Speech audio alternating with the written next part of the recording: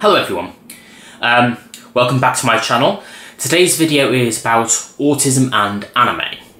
Um, for those of you that don't know, there are a high number of autistic individuals that are actually very, very interested in Japanese animation. I think there are a few reasons why this might be the case. For one thing, because anime is nothing like the real world, they can basically see this as a way to basically escape from all the stresses of real life. Another thing is, a lot of anime uses very exaggerated facial expressions, and they have these big faces and these, like, they tend to really exaggerate the emotions, and I think this makes it much easier for an autistic person to be able to tell what a person, what a character is thinking or feeling because the expressions is so exaggerated. There are also a number of characters in anime that have some autistic-like characteristics. I actually made a video on my channel earlier where I spoke about about anime characters that have autistic traits. I'll link to that in the description for you to check out. Now, I myself am an anime fan as well, as you probably gathered, but I actually wasn't always.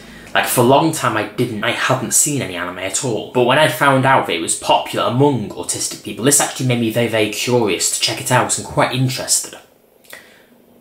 I did watch some reviews of some anime films like Spirited Away and various others. I did watch reviews of these on YouTube and this made me very interested. You know, since I did watch a lot of film reviews in general on YouTube and this is something I still tend to do a lot. However, I didn't actually see any anime until about 2016. In 2016, I went to a conference where Calvin Atkinson did a speech about depictions of autism in film and TV, and he mentioned an anime series called Death Note, which had, which he believed had one or two autistic characters in it. You know, he mentioned he spoke about how this series depicted autism, and it definitely made, made me pretty interested. Later down the line, some of my sisters also mentioned that they had seen this Death Note, and it did have an autistic character, or at least a character that was implied to be autistic, even though they never outright said it. And this again made me very, very interested. Like, I've always been very interested to see depictions of autism in fiction. Like, it tends to really, really interest me, and I tend to be always very curious to see how they do it.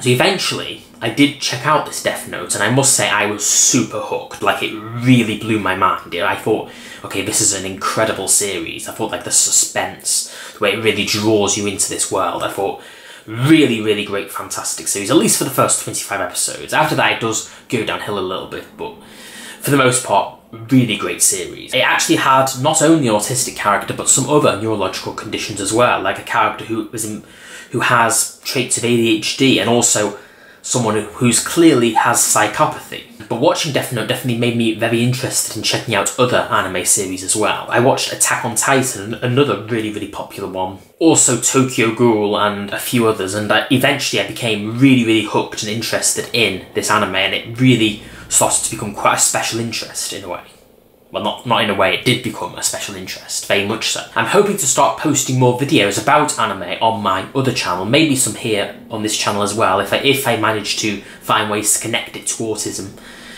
But I feel like I will be posting more on my other channel, so if you're interested, please do check out um, Alexander the Geek is my other channel, and please do hit the subscribe button on there as if you want if you're interested in more anime content. I've only done one anime video so far, um, but I do hope to do more. And I also may, maybe would like to talk about, do some more Star Wars videos and that kind of thing on the channel too, and other geeky related stuff. Now thank you all for watching, I hope you enjoyed this video. And um, please do hit the subscribe button if you haven't yet, and take care, goodbye for now.